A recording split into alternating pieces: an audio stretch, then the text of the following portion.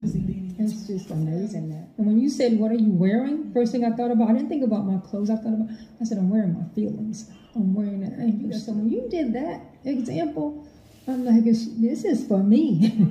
so I renounce all the underlying codes. I renounce all the anger, all the bitterness. I renounce all the. I want the forgiveness, the love, the patience, the humility. I want to wear that all the time. So I renounce all the underlying codes, and, and I renounce any pain in my body, any scleroderma. I renounce any any Raynaud's, anything going on, any pain in the shoulder, the back, I renounce it all.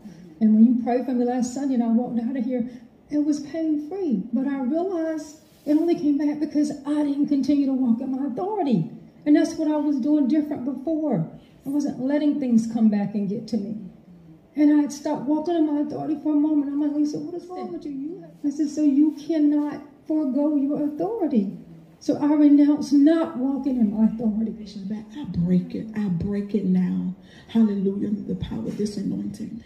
Every underlining of what you have been wearing. Hallelujah. That of what you renounce, the hurt, the pain, the unforgiveness, the hatred, all of it. I completely detach you from it now in the name of Jesus. Out now in Jesus' name. Every abusive word must leave you now. And what it left in you, the roots of what it left, I command you to be broken, destroy, and I command you to gather every bit of it and leave now in the name of Jesus. Every grudge, every get back, I command you to go now in Jesus' name. Every bit of residue that the pain in the left has hurt, for the reason she's wearing. She was wearing these things. I command you to go from her now in Jesus' name.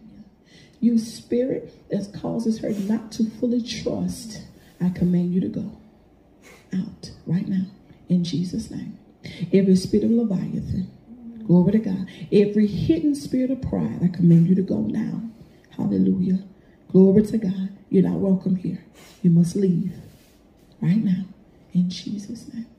And I decree and declare right now, by the power of the living God, He has freed you this day from everything that you renounced. His power is real, and He's freed you this day right now. I speak freedom to you now. And in Jesus' name, I completely speak to you healing, peace. I speak to your mind now. Be still be at rest. Be at peace now in Jesus' right now. Glory to God in Jesus' mighty name. Amen. Hallelujah. Praise God. I Always, every time I'm here, and it's not from the heat.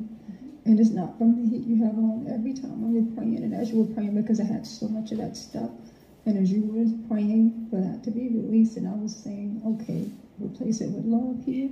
And it always, it starts here and it's a warmth, and it always radiates to my fingers, from my heart all the way down to my fingers. And it's like it was a vibrating in my fingers, and I can feel it's like I can feel the heat, not the physical heat, but the heat inside. So I can feel God. that. Hallelujah. Yeah. Hallelujah. God has done it again. Thank you, Lord. Hallelujah. This is real power of God. Hallelujah. Thank you, Jesus. Thank you, Lord.